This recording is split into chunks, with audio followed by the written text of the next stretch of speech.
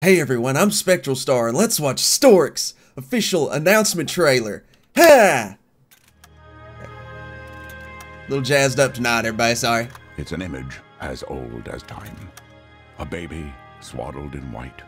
That Morgan? By the stork. How quaint.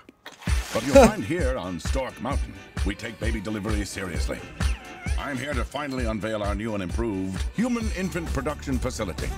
We have perfected and streamlined the process, devising a zero mistake workflow. Trademark. Using the most cutting edge technology, coupled with over 75 years of hard won experience, our new process has been described as perfect, precise, flawless, ideal, immaculate, no problemo, error proof, too big to fail, the opposite of the Titanic. we work hard just so you The opposite. four most precious words in human language. Goo goo gaga. So, when you're looking for baby delivery, you can count on the Stork Delivery Service. Make a plan, stick Is- to the did he say baby and livers? deliver. What was that? Oh no. My bad. Do birds have teeth? I've never looked in a bird's mouth.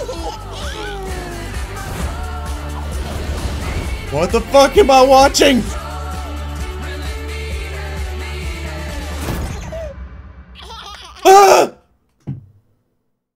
Um, I, I really wasn't scared.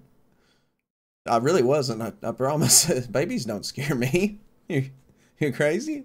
uh, ah, but seriously, guys. Uh, looks like a good movie, and I'm glad my man Kelsey Grammer is actually doing some voice acting, especially for a bird. He kind of reminds me of a bird a little bit. You know, Frasier. He also played Beast on X Men. Uh, the uh, X Men Three, I believe it was. It was that wasn't the best one, but you know, hey, he played Beast, and it kind of made sense. Anyways, I hope you guys like this reaction. I'm Spectral Star. It's gonna be some annotations after the video, but take that stuff that I do, and I hope you guys come back for the next reaction. See ya. Who's that up there in the TV screen? He's on the YouTube. Oh, it's Uncle Phil. Oh my God, it's Uncle Phil. I forgot about that. Go ahead, and tell him bye, it, Dustin. Uncle Phil Shredder.